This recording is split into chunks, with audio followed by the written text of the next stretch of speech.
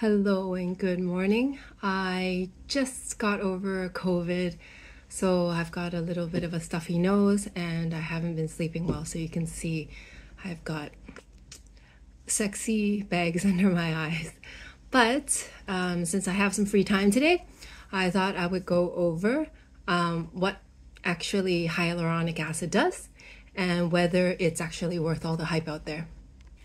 So, hyaluronic acid is basically touted as one of like the most amazing ingredients out there nowadays. And does it actually work? And how do you actually make it work well with your skin? So, we're going to go through what hyaluronic acid is and then um, how the formulations work in skincare. And then you can decide whether it is right for your skin or not. So hyaluronic acid is naturally occurring in the skin. So within your dermis, there is a high molecular weight hyaluronic acid. So what hyaluronic acid does is it holds up to 1,000 times its own molecular weight in water. So it draws it, the water, um, from within, and then it hydrates your skin.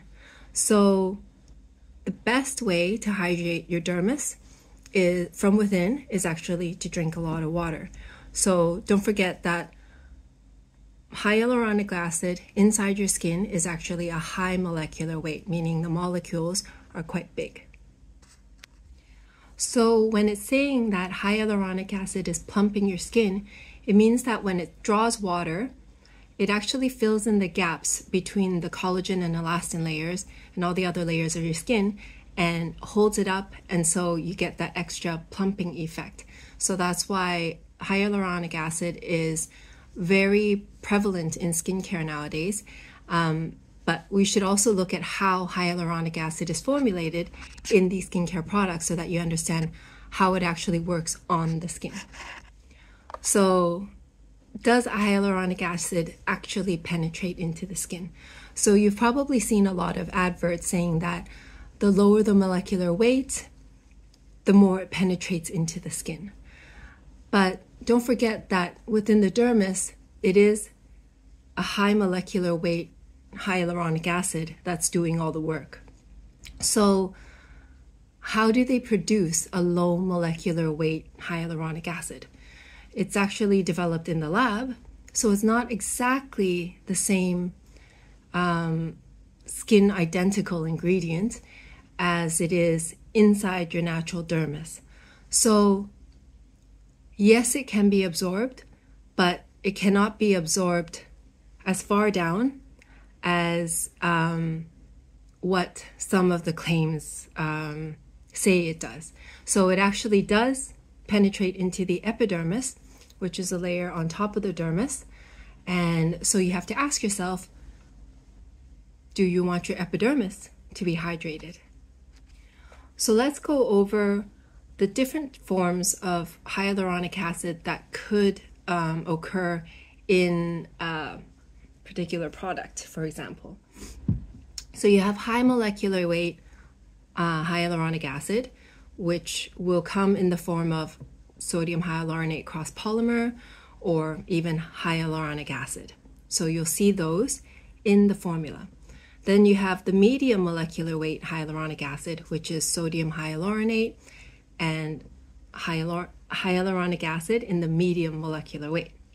And then you've got the low molecular weight hyaluronic acid, which is hydrolyzed hyaluronic acid or acetyl acetyl hexapeptide 37. Sorry, I'm having pronunciation problems today.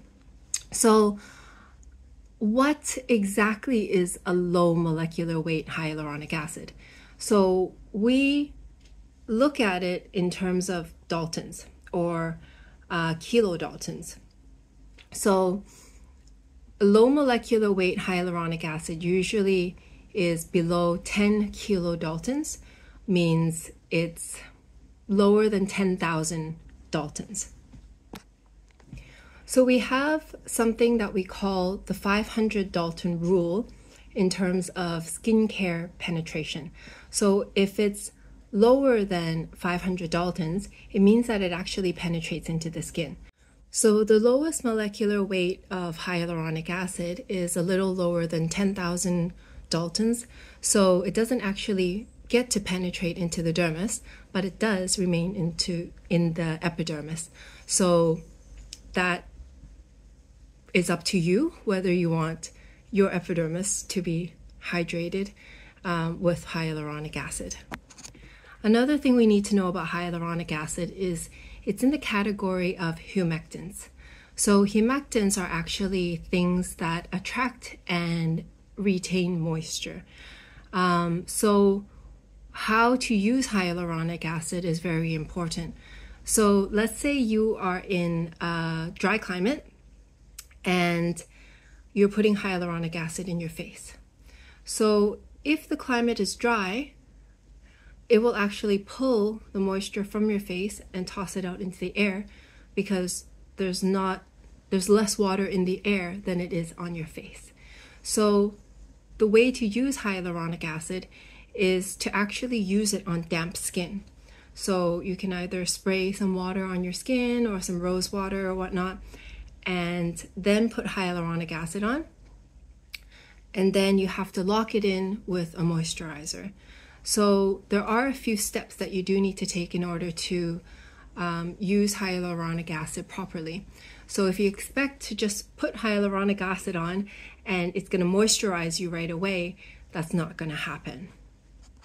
So, so after we do microneedling sessions on our clients, we actually do recommend that clients hydrate their skin with hyaluronic acid or something that is uh, or includes a humectant.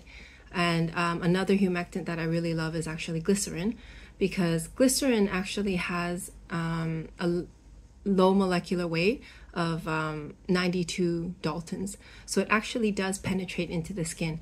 So when you've got a formulation with glycerin and hyaluronic acid, it means that you can penetrate into the dermis as well as the epidermis to hydrate your skin. So let's have a look at my favorite um, hyaluronic acids. So one of them is actually from Hada Labo Gokujun Premium. And this one, I think it has five or six hyalurons in it. And it also has glycerin.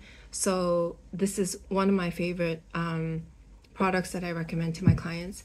And this is another one that I really like. It's from Gervish and it's got eight hyalurons in it and basically it's um, got the different molecular weights and if you look at the ingredients you'll see all the different types of like sodium hyaluronate hydroxypropyl trimonium hyaluronate hydroxylized hyaluronic acid sodium acetylated hyaluronate uh, hyaluronic acid sodium hyaluronate cross polymer hydrox hydrolyzed sodium hyaluronate and potassium hyaluronate so within this formulation, there are eight types of different hyaluronic acids, and um, it's also got glycerin. So I really like this one.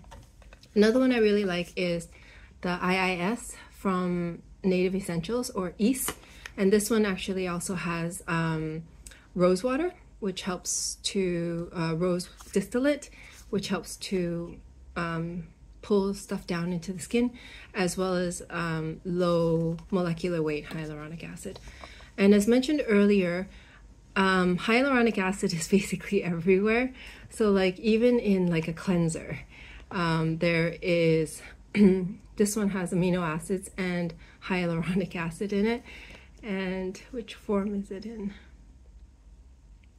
This one just says hyaluronic acid. So um, could be a high molecular weight or low molecular weight. So it's actually not really doing a lot for the skin in terms of hydration or plumping the skin.